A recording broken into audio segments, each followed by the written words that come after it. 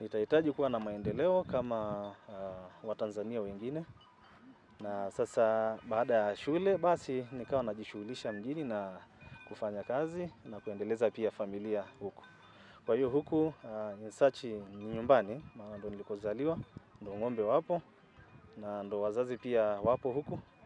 Kwa hiyo mimi nimeona kwamba ya, hili swala sio baya kwangu, nikajaribu kulifikiria, tukakubaliana na mke wangu na watoto wangu, tukasema kwamba ni bora tuhame.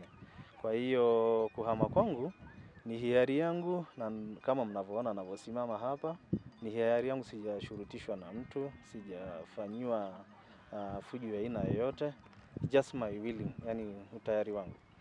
Kwa hiyo uh, hili swala la Ngorongoro uh, ni swala ambalo kidogo limeleta taharuki kwa watu wengi sana, na taharuki hii imekuja kutokana na watu baadhi. Kuna vikundi vya watu ambao ni kama vile wameandaliwa si kuja kushawishi watu wasihame. Kuna pia mashirika ya watu binafsi wamekuwa wakijishughulisha sana huku vijijini kutoa kama elimu ya masuala ya ardhi, masuala ya vitu vingi wanatoa, na watu wengi sasa wame, wamekuwa sasa wamebi impacted hiyo hiyo akili na, na hawa watu ama hayo mawazo, hakuna anayetaka kuhama. Na mbali na hapo, kuna pia uh, kama baadhi ya wafanyakazi pia wa mamlaka ambao ni wenyeji pia wamewabadilisha pia hawa watu mitazamo yao.